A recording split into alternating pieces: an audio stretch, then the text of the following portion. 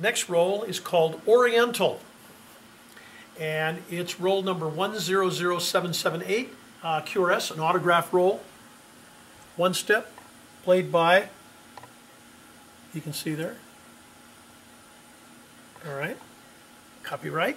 All that information is now recorded for posterity. Oriental, this was a um, roll used in sound movie theaters because the, in the original roll it had date stamps. This is a recut that I made several years ago. And here we go, Oriental.